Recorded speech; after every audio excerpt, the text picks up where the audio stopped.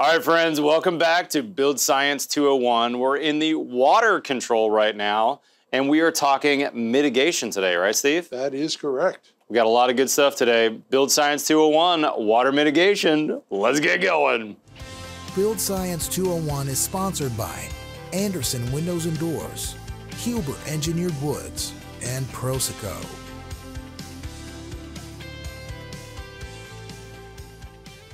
Hey guys, I'm Matt Risinger, and today we're diving into an essential topic for any construction project, sequencing and trades coordination. Do you know that most failures occur when the trades aren't aligned? And this is especially true at critical transition points, like where the roof meets the wall, or especially where the foundation connects to the wall. These areas require careful coordination to prevent issues down the line.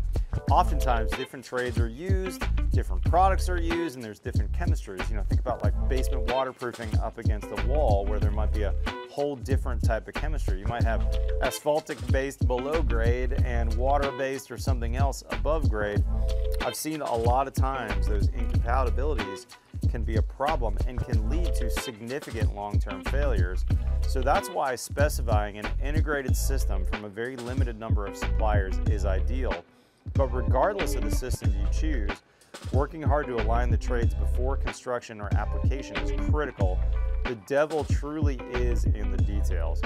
For instance, in the commercial construction world, maybe not quite as much as residential, although we're seeing it more and more for fire reasons, gypsum board is used on the outside often for fire ratings. And gypsum in particular is inherently dangerous. It doesn't allow a lot of moisture to pass through it, but the smallest crack or hole that isn't properly detailed means water gets in and big problems can occur if that's your sheathing. So those details really matter. It's also vital to understand the products you're using on your project. This means knowing how they should be stored, what their ideal temperature ranges are, and any necessary substrate prep. Environmental conditions also play a huge role in getting the best performance out of your materials. So remember, effective sequencing and trade coordination can make all the difference in your projects. And a big shout out to our friends at Prosoco. They make some terrific products, in particular for the outside envelope, that really work well and are really are frankly easy to coordinate with your trades. Guys, I appreciate Prosoco for sponsoring and thanks for watching. All right, Steve, mitigation. So where do we start here? Last time we talked about getting water off the building, but what happens when water touches the building? Well, any water that we can't get rid of via protection, then we have to deal with. Yep. And so basically, I tell everybody we need to provide a path. And that's what mitigation is. Give it a path, right? We call it water management. Yep. We don't call it water barrier, water stop. You know, those names exist, but we call it water management for a reason. One of my favorite quotes from David Nicastro, a famous building scientist, is it's not about keeping water out, it's about letting water out. And another one of his quotes that I think fits here is if it can't dry, it's going to die. And with that being said, Steve, I've got some photos of a house that I remodeled a couple years ago. The client called me and said, Hey, Matt, uh, these windows in the back of my house are exhibiting some signs of rot. This is uh, literally only a 20 year old house. I think it was maybe 19 years old at this time, so not very old. So I went over and I checked out the house, and of course, I brought one of my best rot detection devices with me, which is my knife. And I poked around on these windows here on the first floor uh, to see what was happening. But before we go to the next slide, I want to mention pretty traditional house. You know, we had overhangs here, like two foot overhangs. There was one big mistake made in that in this corner where the roof meets the wall, you can see there's a there's kind of a gutter dam there so water wouldn't overflow the gutter. But what was missing was something called a kick-out flashing. That's where if there's water running down the wall, it gets kicked out from the wall so that we can't get water in between basically the roof and the wall intersection. So a kick-out flashing was missing. And you also notice this is a pretty tall two-story portion of the house with a two-foot overhang. So you might guess that these windows at the bottom down here are getting a fair amount of water on them over time. So with that being said, let's see what we found. Well, before we jump ahead, because I'm going to talk a little bit different about what I saw in this, and this comes into that whole, you know, when we talked about protection, risk assessment, the same with mitigation, we have to understand what our risk is. So, you know, Matt talked about this. We're putting that in a corner right by the window, water coming down here creates a problem. Yep. But where's that water come from? Look at this. You have all of this gutter. Yep. All that gutter goes into a downspout and kicks out onto the roof funny, there. I didn't even notice that. So it's not this roof that's the problem. It's the main house roof that's contributing. And then you have this inside corner that I don't really see a cricket in there. Mm-hmm. And so all of that water is coming down into that corner. a lot of And so that that assessment of what do I do with all of this water that's now coming down into that corner? Let's peel back the skin and see what we found over here. Okay, so on the left, you can see that we found some rot. That was pretty obvious. But when we took the stucco off, Steve, that's where things look bad. So this right-hand corner you're seeing there, that's right below where that missing kickout flashing was and where that roof was intersecting. And the builder at the time had used a house wrap, so we had some type of raincoat on underneath. But what happened was water was getting back there and it had no pathway to get out. And as a result, this house less than 20 years old, you can see that the sheathing, which happened to be oriented strand board, just absolutely destroyed. And even the standard studs in that wall, totally destroyed. Yeah, and you know, when I remodel projects and do remodeling projects, one of the things I love to go in, even if we're demoing a house, I like to get in there the day or two before we demo and take it apart mm-hmm. because you can learn a lot. Look at this. You can see here, look at that heavy rot Yep. in that area. It gets a little lighter and then there's almost nothing up there. It's that suggestion that that water is coming down and the minute I don't have a path for it, it stops and rots. Yeah, that's right. Great point. Okay, so now uh, I thought on the right hand side I'd actually show you what that looks like on the inside. So when we have sitting water against wood materials, remember we said earlier if it can't dry, it's going to die. That's where the issues come in. That wood is going to break down if it can't dry. Now, wood, uh, when it's out in the forest, a living tree, it's soaking up the water, it's doing fine. When the tree dies and falls over, uh, it rots over time. And part of that rot, or most of that rot, happens because water sits on those logs and it rots over time. On the other hand, your dining room table that's inside your house here is going to be just fine decades and decades, maybe even centuries from now, because it's dry and it's kept dry. And if it gets wet, if I spill my water bottle here, it has nothing preventing that drying. Now, on the other hand, this house, water got in behind that house wrap. There was no pathway for that water to get out. Uh, this is a modern house built to modern codes with insulation in there. There's no easy way for that wood to dry. So now that moisture accumulates and accumulates, and the wood broke down and had actual wet rot. On the inside, the paper facing of the drywall started to accumulate some microbial growth. It was a mess all around, Steve. Yeah, and you know the the thing that I see here is notice we do have some flashing, mm-hmm. right? So the builder could very easily say, "Hey, flashing box, I checked it. Homeowner, we got flashing up there. Hey, Mr. Building Inspector, Mrs. Building Inspector, we did proper flashing at this window." The thing they didn't provide was a path for that water to go. Yep. And if you don't provide a path, Mother Nature will. One of the big ways that we're going to prevent that is by giving a pathway for the water. Uh, this is what we commonly refer to as a rain screen. This is actually my house. You're looking at the back of my house under construction. The silver facing you're seeing there is my exterior insulation that I used on my house. And behind that is my raincoat. I use zip system sheathing on my house. That's my water and air barrier in the house. I added the insulation, but I wanted to make sure there was a pathway for any water that got past my cladding to be able to get out, to drain and dry, to make sure that I didn't have problems. So you can see there, one of my frame carpenters installing my siding, he's nailing it onto that one by four that's been screwed into the structure of my house.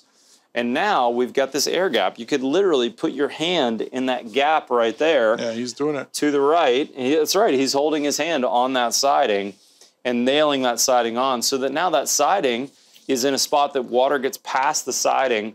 We've got no problems. It'll be able to drain out of that space, no problem. And then there's a pathway at the top and the bottom for air to flow into there. And that's commonly referred to as a rain screen.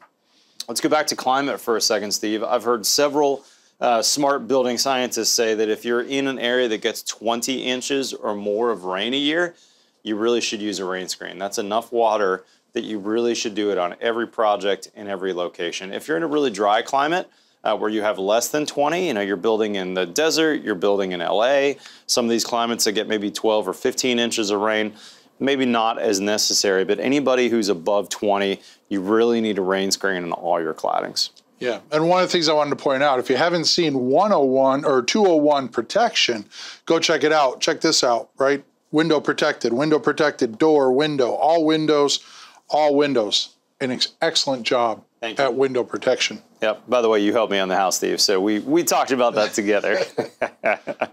We talked about rain screen. This is a project of mine. We very similar to yours, where we used the wood furring. This is what I would call a closed joint system. It's lap siding. There's no air. I mean, not intentionally going into that. So it is about drying. The three quarter inch space there also does provide some drying up through. It just can't dry through the cladding. right. Makes sense. As opposed to this is a project where we did open joint, and you can see it there. That's a 3 16 inch open joint. Hmm. So those are basically just sticks sitting on top of the wall. So in other words, they're stacked rather than lapped. Exactly. So yes, water can get in there, but so can air and water can get out. So we can dry it. So it's all about that rate question, right? What you're seeing here is that there's a rain screen back here, and then uh, Steve and the builder used some tar paper to drape in there. So really, you'd have a black space behind there. But what you can't tell quite super well on this photo is that there's actually an air gap in there. going to bring that up a little. There you go. You can see uh, what Matt's You could- talking about. you could put your hand back there. this there. is vi- really shaped like that. Yep, it's U-shaped back there. So there is a uh, rain screen gap behind that siding. Uh, as a side note, there are places in the United States currently and Canada where rain screens are code. If you're building in the Pacific North, Northwest, there's lots of jurisdictions. Uh, Vancouver, British Columbia, other places where you have to do a rain screen. Lots of places like where I build, it's not code, but it's definitely best practice. This is a project. This is up in Colorado, Steamboat Springs area. And the reason why I threw this up there is just multiple materials, right? We have metal, we have lap siding, and here we have a series of vertical siding. So it doesn't really matter what kind of siding you're using. Water doesn't have a preference. Like, hey, I'm only going to rot buildings that are stucco, or I'm only going to rot buildings that are lap siding. right. No, water doesn't care. So we have to provide a path here. We have to provide a path here. Notice that our cap flashing there over the metal, the furring goes behind it. So that water can continue down, and we're dealing with it down at the bottom of the wall. Smart. You know, so this is a, a photo that's dealing with mitigation, but it actually it, it or it pretty much doesn't have to do with the building. That first photo you showed when I talked about roof rainwater, this is all piping dedicated to rainwater. Ah, so that's your downspouts and your gutters piping away from the house. These will all eventually get cut somewhere up in here, and then they'll get fixed to the downspout, and this goes down, and then this goes to daylight somewhere down a little ways off the hill. So instead of a footing drain that would have a perforated pipe, that's all solid pipe. Yep. So that now it's taking all that water from your roof into your gutter system and then piping that out to a lowered section on the property. Right, and notice it's just above the footing, which is down below there. So we have our footing drain is in there just below. So as they're backfilling that excavation, they're now putting in this second level of mitigation that's dealing with roof rainwater. This is this kind of the same concept. This is that house that had the open joint rain screen. This is what I call a ground gutter. Hmm. So we basically, the homeowners didn't want the gutters to be on the building, so we center this ground gutter on the drip line. The water drips, it goes through stone into this perforated pipe. And in this jurisdiction, we have to take care of all of our rainwater on site. So we have an on site kind of um, percolating reservoir that this goes down to in the low ground. But the idea that, you know, my buddy George there, the excavator, just does an impeccable job of basically putting the gutter in the ground. I like that. That's smart. And then this one here, notice there's some little holes there. Those are actually laterals that go through the foundation. Now it's funny because some people will argue, why do you want to connect the inside or the outside? Well, when you think about what that footing drain does, for me, I'm more concerned about the water that's rising up mm-hmm. than the water that's coming down. That's right. And so as it rises up, I want to make sure that I can capture that in a nice level fashion. And we have a pipe on the inside of the footing and one on the outside of the footing to get rid of it. And then ultimately, if that's a below grade foundation, there's going to be a sump pump down there and maybe even a backup sump pump, which is the lowest point in the foundation. Right. All that water gathers in one spot and we pump it outside. Right. And as far as mitigation, if we are talking groundwater, understand this is our waterproofing. This is a drainage mat. So the light gray you're seeing here, Steve, that's the waterproofing. And then Right. the uh, kind of blackish material there is a what we call a dimple mat. We use Right. those in all kinds of places, but below grade's really smart. It kind of looks like an egg crate material, and the uh, egg crate is up against the foundation that kind Yes. of nipples on the crate, and then there's a filter fabric on top of that, so that any water that comes up against that foundation is going to find basically an airspace, an air gap, a rain screen space. Right. And the filter fabric is going to keep that from getting clogged by soil. That's what they call it a filtered fabric. And then that's going to be able to drop down in a sheet to our drain below that can ultimately be dealt with with a pump or with gravity. And what I think is really cool, this is the Polyguard system. Um, and I drew that line there. Notice this two foot section, the dimple mat here is probably 2x the size of the dimple mat up Ah, there. cool. So they understand that as I accumulate water down here, I have to deal with it with a larger mat. Smart. Yeah, so this is groundwater gone bad. So there's a really close up picture. And the saddest thing about this is well, first of all, the homeowner had to pay for about a 300 linear foot excavation that was 14 feet deep, 10 foot wide Oh on a house that was about three years old. That was expensive. Very expensive. And when we got down there, this is what we found. And the sad thing about this, Matt, is you know, it has the perforated pipe, it had the filter fabric, and it actually had some stones. The problem was the installation was like somebody kicked it in mm-hmm. to the hole. It wasn't installed properly. And this is probably one of at least a dozen cuts that I've made. It was filled solid. Yikes. It was just bad execution. So, you know, there's there's checking the box and there's checking the box, right? Checking the box to say, yeah, I did it. Checking the box that said I did it and I did it right. Yeah. Steve, I think one of our big takeaways here for that young builder in the audience is we really need to think about that pathway for that water to come out. It's not about cocking things in, it's about making sure that we've got a path for that water to get out. Yeah, and you know, you talk about young builders, but I encourage homeowners, you know, when you're working with your builder, when you're working with your architect, to ask the simple questions. Hey, where does the water go in this design? It's a great right? point. And it's like, well, if the architect sits there and says, oh, well, well, I have protection here, we have a covered overhang, that still doesn't solve for if water gets in. Mm-hmm. You know, one of my biggest questions is anytime you put sealant, caulking, some type of closure on a building, the question isn't necessarily what you're sealing out. The question is, what am I sealing in? Yeah. right? Because that's when you investigate. When I've investigated buildings, it's not because they were successful at keeping stuff out. That's right. They were unsuccessful. It's always going to be unsuccessful at keeping it Yeah. out. So that brings us, you know, to a really good photo here. We talked about protection in the first video, which is good. Mm-hmm. Yep. But that doesn't mean you're not going to get some rainwater Yeah. coming into there. So how do we deal with that? Just like we did our vertical rain screen here, and in this case it's horizontal because it's an open joint rain screen. Um, we have our rain screen system here. So this is basically built like a shower in here, and this Hmm. So there's living has- space below that, or there's foundation There is. below that? This is uh, Carl's workshops down below that okay.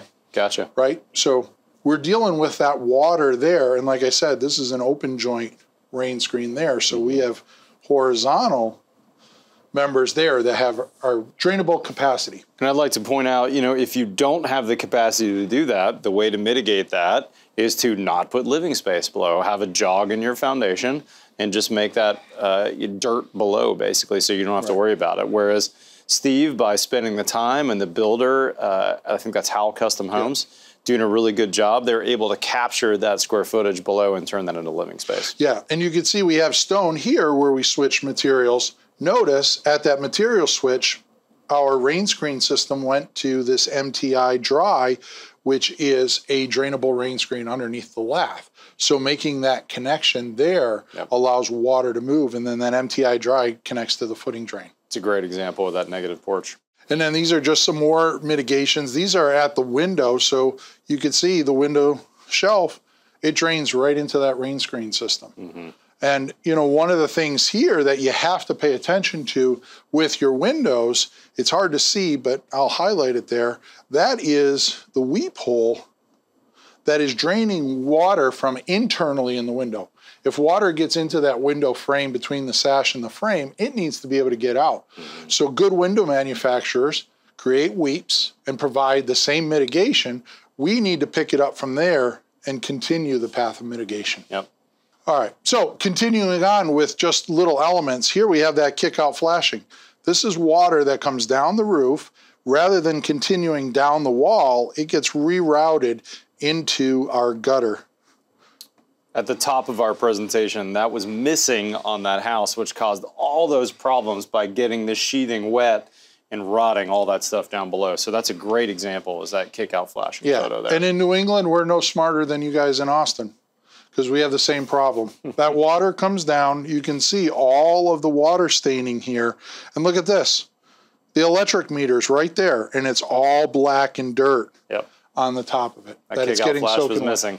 That's a that's a critical component on houses. And this is just continuing on to the smallest of details. Now, you've been to this house. This is a house, farmhouse up by Gloucester, where we did a deck. We hung it off the outside. Notice we have all of these wooden joists. The wooden joists are set in these little steel hangers that were fabricated by the steel guy. Mm-hmm. So the question again where does the water go? Well, if water gets in here, we don't want our joist sitting in it and rotting like your DeCastro friend, right? So it sits on a little neoprene piece here. So water can drain out there, but we also cut the backside of that joist. That's really So smart. water can drain out of there. So these joists are never sitting in any kind of water. That's Even really if it's raining, water just goes right by them. That's great. And then lastly, I mean, these are just a few examples of rain screen systems.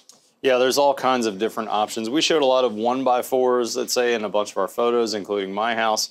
Uh, this one in particular is an interesting one because this one's intended for a stucco install. So it's a dimple mat on one side and a filter fabric on the other, kind of like what we showed on a foundation.